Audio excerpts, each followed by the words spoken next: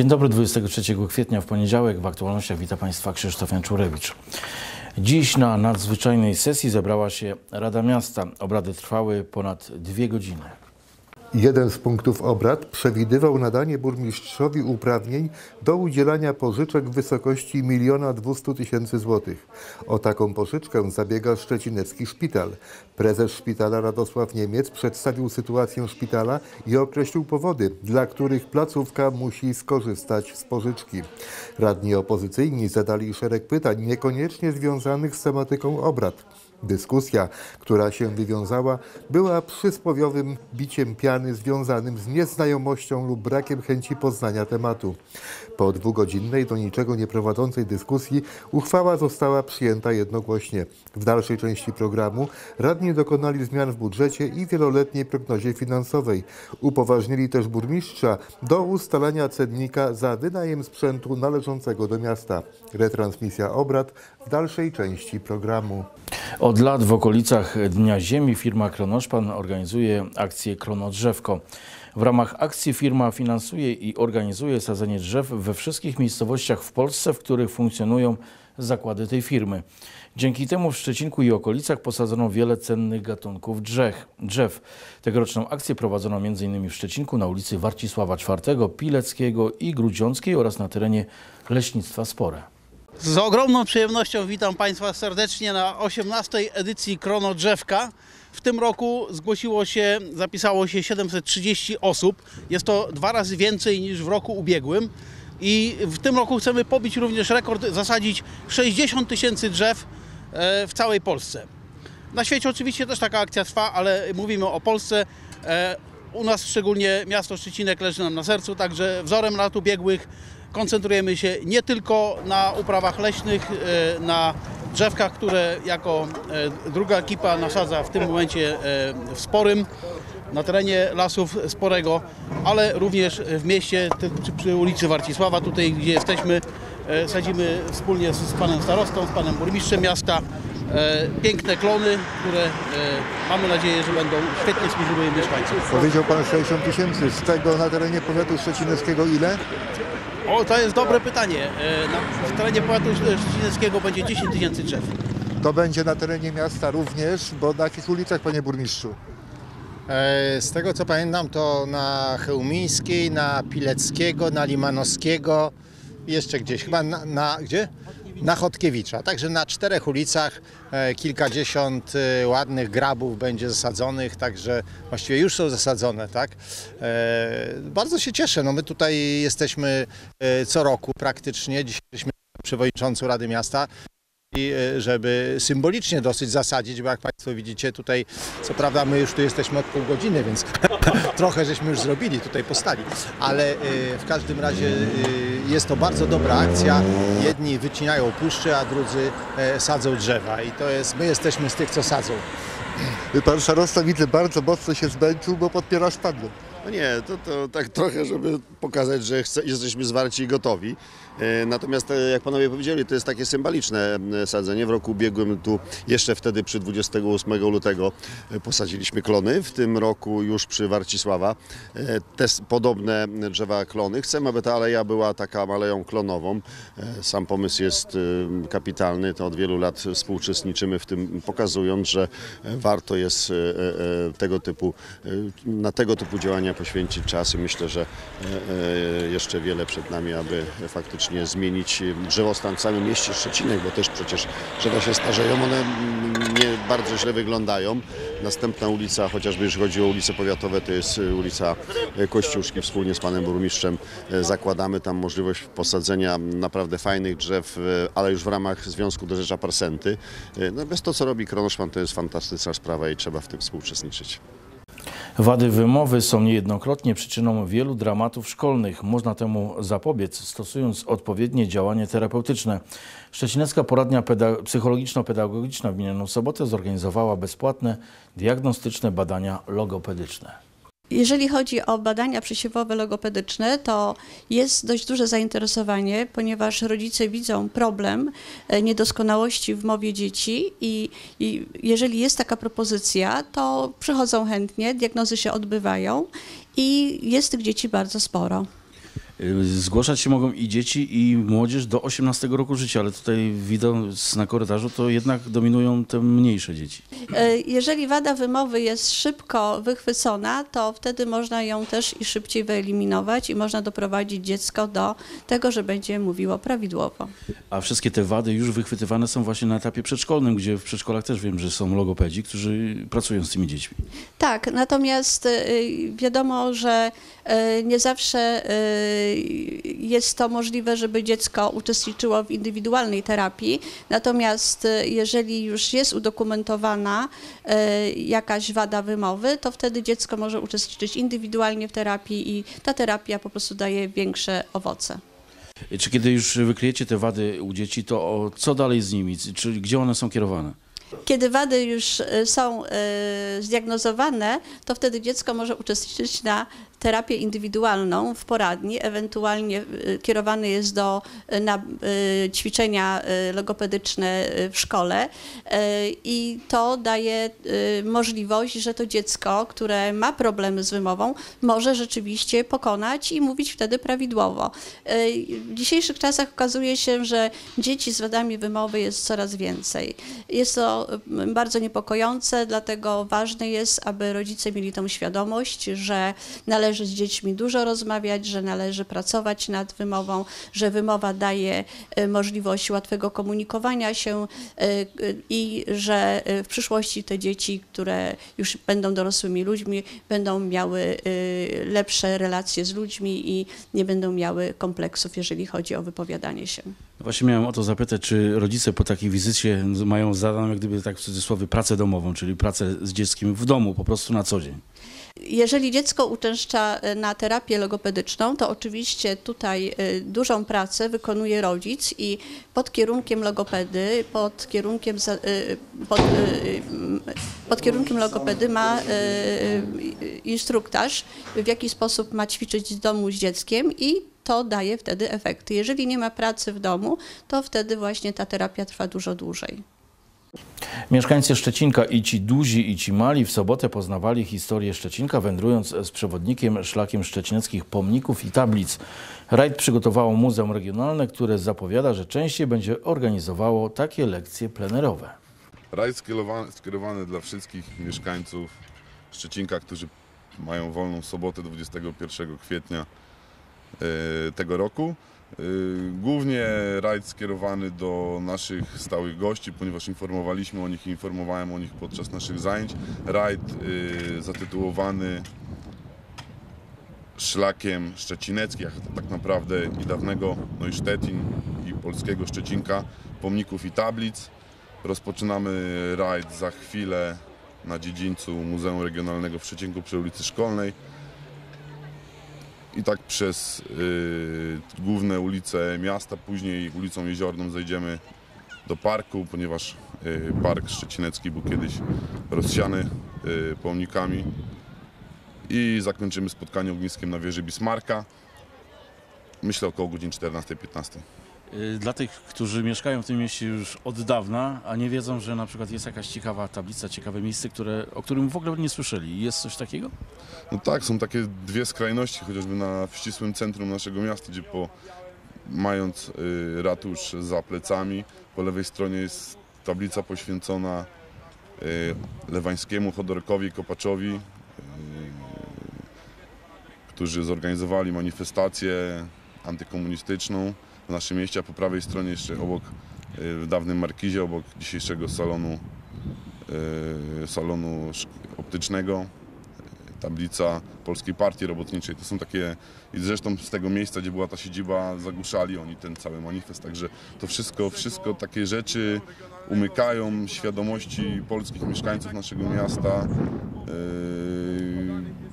One trochę tłumaczą, jak wyglądał, yy, wyglądał Szczecinek tuż po zakończeniu działań wojennych. Kto tutaj tak naprawdę rozdawał karty, yy, kto, jakie partie były takimi partiami wiodącymi, między którymi była tutaj ciągle rywalizacja. Tak naprawdę nie było żadnej rywalizacji, bo zwycięzca był jeden. Kto przychodzi na tego typu rajdy? Czy to są miłośnicy historii, czy też ludzie, którzy chcą spędzić czas na świeżym powietrzu? Wszyscy. Dzisiaj nawet wiem, że będą z nami y, dzieci z niepełnosprawnościami ze Szczecineckiego Ośrodka Szkolno-Wychowawczego ze Świątek. Są to dzieci również autystyczne. Będą charakterystycznie ubrane, będą miały kolor niebieski na sobie. Yy, I, i, no i tak naprawdę dużo będzie seniorów z przystani, takiej stałej grupy, która przychodzi na nasze zajęcia, i nasze wystawy i imprezy. W ogóle rozpoczynamy tak naprawdę teraz sezon taki związany z takim e, bardziej outdoorowym, czyli nie będziemy jednak trzymali się już tej konwencji takiej stricte e, muzealnej e, w budynku, tylko będziemy trochę wychodzili na zewnątrz. Za tydzień jarmark, e, 19 maja Noc Muzeów też rozegra się tak naprawdę ona tutaj na dziedzińcu. Zapraszamy serdecznie. Czyli co, pogodę macie no, w sumie idealną do roboty. No jakby trochę mnie wiało, świetnie. Czujemy tutaj w cieniu ten wiatr, mam nadzieję, że nie rozgoni on gości pod wieżą Bismarka tam od jeziora. E, Trochę wieje. Wojskowe koło PTTK Wiarusy po raz kolejny zaprosiło na dwudyscyplinowy rajd turystyczny Leśne Ścieżki. Trasa piesza wynosiła około 5 km, a rowerowa 28. Wszyscy spotkali się na mecie, pogoda dopisała, humory rajdowiczów też. Wiarusy się nigdy nie nudzą, wiarusy wyruszają po raz kolejny na trasę. Oczywiście, nie ma innej opcji. Tradycyjny to już jest raj cykliczny, organizowany zawsze w kwietniu, zawsze przy pięknej pogodzie, tak jak zapowiadałem. Nie może być inaczej, kiedy wiaruscy robią imprezę i realizujemy dzisiaj naszą wiosenną, y, wiosenny rajd pod hasłem Leśne Ścieżki. Na dwóch trasach, na trasie pieszej i rowerowej. Trasa piesza krótka, 4 km. Pójdziemy tutaj y, przez ulicę Fabryczną, przez Kwieciszewo, Lasek i do, docelowo do parafii właśnie takie pole biwakowe przy parafii świętego Franciszka Zasyżu. No, kiero, y, rowerzyści 28 prawie kilometrów pojadą przez rezerwat Dęby Wilczkowskie, przez Sitno, Dziki, y, Wilcze Laski, Turowo i również na metę. Tam na mecie oczywiście będzie ognisko, będzie pieczenie kiełbasek, będą konkursy rekreacyjne. Chcę powiedzieć, że e, ta impreza tradycyjnie również pod patronatem e, głosu naszego e, Koszalińskiego e, są ufundowane nagrody i posiadacze weekendowego wydania gazety będą brali udział w losowaniu fantów ciekawych, interesujących. Na wszystkie na pewno starczy. Również tradycyjnie będziemy organizowali zbióreczkę na hospicjum. Były to różne kwoty, ponad 300 zł. Przekazaliśmy parę lat temu, a w ubiegłym roku chyba około 200. Również będziemy zbierali pieniążki. No i tę datkę, datek przekażemy na nasze hospicjum, które zawsze jest potrzebne i zawsze każda złotówka się przyda. Czy tak są takie dodatkowe e, imprezy związane z naszym rajdem. Pogoda piękna, trasa, jak powiedziałem, jedna i druga niezbyt długa, nie męcząca. E, Ponad 80 y, osób już jest w tej chwili, y, zrzeszeni, niezrzeszeni członkowie, sympatycy. Jest młodzież ze szkoły podstawowej numer 1, ze szkoły podstawowej Sparsencka. Co mogę powiedzieć? Impreza musi się udać i na pewno się uda i będzie w pamięci pozostanie jej uczestników, jak wszystkie pozostałe realizowane przez Wiarus. Czego Wam życzyć? Y, miłej atmosfery. Y, Słońce jest, świeci. Niektórzy się na trasie jeszcze będą rozbierali z pola, bo dość ciepło się teraz ubrali. I na pewno ym, sympatycznie tą imprezę zakończymy, ale przy okazji już powiem, że mamy kolejne dwie. Będzie rowerowa y, 13 ym, maja. Y, To będzie już z Grzmiącej do Szczecinka na rowerach. Będzie spływ kajakowy rzeką Dołgą. Wiele imprez jeszcze przed nami, o których będziemy sukcesywnie informowali. Pierwszy taki bieg został rozegrany 24 kwietnia 1982 roku. Wówczas to był ogólnopolski bieg przełajowy o Puchar Winanda Osińskiego. Teraz, 36 lat po tym wydarzeniu, odbył się 35. Międzynarodowy Bieg Uliczny Memoriał Winanda Osińskiego. Oba wydarzenia łączy osoba patrona, pierwszego olimpijczyka z ziemi szczecineckiej, który uczestniczył w 15. Olimpiadzie w Helsinkach w 1952 roku. W niedzielę na stadionie imienia Czesława Lisa na starcie do biegu głównego stawiło się 730 biegaczy z ponad 840, którzy zadeklarowali swój udział. Nim starter dał sygnał do biegu, rozegrano biegi młodzieżowe i bieg dzieci z rodzicami. W biegach młodzieżowych, które rozpoczęły się już o 9, stanęli biegacze urodzeni w 2011 roku i starsi. Biegi rozgrywano na przemian w poszczególnych kategoriach wiekowych, od najmłodszych do najstarszych, czyli rocznika 1998, oddzielnie w kategoriach dziewcząt i chłopców. Zwieńczeniem biegów młodzieżowych był bieg dzieci z rodzicami. Ten bieg od lat wzbudza kontrowersje. Nazywany bywa często biegiem wyrwanych rąk, bo rodzice zapominają, że w tym biegu to oni powinni dostosować się do możliwości dzieci, a nie odwrotnie. Często dzieci na tym cierpią i wcale nie uczą się sportowej rywalizacji, tylko doznają niepotrzebnych urazów. A przecież na mecie na wszystkich czekały maskotki, niezależnie od tego, czy dziecko przybiegło jako pierwsze, czy jako ostatnie. Stasiu, brałeś udział w biegu? Tak, Biegłeś z mamą? tak. I jak tam kondycja po biegu? Nic nie, nic nie boli, nogi nie bolą? A trudny, trudny wyścig był? Nie aż taki trudny. A ty często biegasz, Stasiu? Yy, jak wychodzę, to biegam. A powiedz tak, tak prawdę, kto jest szybszy, ty czy mama? Kto szybciej biega? Ja. Będziesz brał udział za rok w tym samym biegu jeszcze raz? Tak. A kolega też biegł? Tak, A Jak kolega ma na imię? Gracjan. Z kim biegłeś, z mamą czy z tatą? Z mamą. I jak było? Fajnie. A wszystko w porządku, zdrowie jest? Nic nie boli? Nie. Start do biegu głównego nastąpił przy szkole podstawowej nr 1 punktualnie o godzinie 13. Wcześniej zawodnicy uczestniczyli w tanecznej rozgrzewce. Po strzale startera długa kolumna biegaczy ruszyła na trasę. Piękna słoneczna pogoda sprzyjała biegaczom. Również tłumy mieszkańców miasta wzdłuż trasy były doskonałym motywatorem do lepszego biegu. Po nieco ponad półgodzinnym biegu jako pierwszy linię mety minął Białorusik Ilia Sławeński. Na drugim miejscu finiszował Michał Iweruk, a na trzecim Dmytro Musiaczenko, obaj z Ukrainy. Najlepszy z Polaków, Piotr Drwal z Ustki, minął linię mety na czwartym miejscu. Spośród mieszkańców Szczecinka trasę najszybciej pokonał Igor Siódmiak. Igor Siódmiak jako pierwszy mieszkaniec Szczecinka przekroczył linię mety. Jak traktowałeś ten bieg?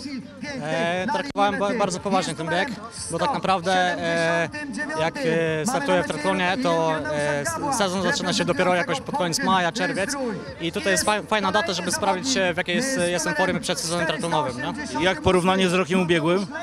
E, no jest życiówka poprawiona o e, 20 sekund około, ponad nawet 20 sekund i jestem bardzo zadowolony, jest to dobry prognostyk na zbliżający się sezon. Przypomnijmy mieszkańcom, że jesteś y, w kadrze Polski, prawda? Powiedz coś trochę na ten temat. Od tego roku jestem w kadrze polskiej. E, jestem bardzo zadowolony z tego. Dużo mi to pomaga. Mamy ufundowane wyjazdy za granicę, obozy, więc to bardzo mi pomogło. Ale jako mieszkaniec Szczecinka bardzo chętnie zawsze startujesz w tym biegu Łośnickiego. Tak, tutaj fajnie się pokazać e, w swoim mieście. Bardzo lubię tutaj biegać. Bardzo fajna trasa i Co przed tobą jeszcze y, kolejne zawody? e, teraz się szykuję typowo pod triathlon. E, kilka dni teraz będę odpoczywał i potem znowu zaczynamy pracę już pod, pod sezon triathlonowy. Gratuluję. Dziękuję bardzo. Z kolei wśród pań najszybciej finiszowała Ukrainka Katrina Ptasiuk. Na drugim miejscu Dominika Nowakowska z Lęborka. W szczecineckim biegu po raz który? Po raz pierwszy. I jak? E, ciepło. A wynik sportowy? 36, znaczy 35 z ogonkiem jakimś długim. Połamałam 36 minut, byłam druga. E, mocna konkurencja dzisiaj była? znaczy wygra e, przede mną zawodniczka, przepraszam, z Ukrainy. Ja druga, za mną też mocne Polki, więc dzisiejszy bieg uważam za udany, a każde miejsce na podium zawsze mnie cieszy. Trzecie miejsce zajęła Ewelina Paprocka z Obliwic. Natomiast spośród zawodniczek reprezentujących barwy Szczecinka dystans najszybciej pokonała Antonina Wirkus, która uplasowała się na piątym miejscu wśród pań. Natomiast jej mąż Łukasz, reprezentujący barwy Bożetuchomia, uplasował się na piątym miejscu w kategorii Open. Znane Państwu już chyba doskonale małżeństwo, które reprezentuje barwy naszego miasta, tak mogę powiedzieć. Jak w tym roku bieg przebiegł? Super, ja jestem bardzo zadowolona. Skoczyliśmy na podium oboje, chyba oboje na piątym miejscu, więc jest rewelacja, była bardzo mocna stawka. Bieg szybki dzisiaj, warunki idealne, no jesteśmy naprawdę bardzo zadowoleni. Ja również jestem zadowolony. Małżonka bardzo ładnie pobiegła. Ja też dzisiaj piąte miejsce w takiej rywalizacji. Po bardzo ciężkiej kontuzji jestem mega zadowolony, aż łzy w oczach. Y, Poprawiliście y, wyniki z zeszłego roku? Tak, są poprawione, jestem zadowolona, że właśnie są poprawione. No i co najważniejsze, że y, pokonałam największe rywalki, więc to, to był mój cel i go osiągnęłam. Gratulujemy. Jako ostatni linię mety minął Andrzej Kowal, który towarzyszył osobom niepełnosprawnym. 35. bieg Winanda Osińskiego przeszedł do historii. I to wszystko w aktualnościach, a za chwilę zaproszę Państwa do obejrzenia retransmisji nadzwyczajnej sesji Rady Miasta Szczecinek, a cała sesja dotyczyć będzie Szczecineckiego Szpitala.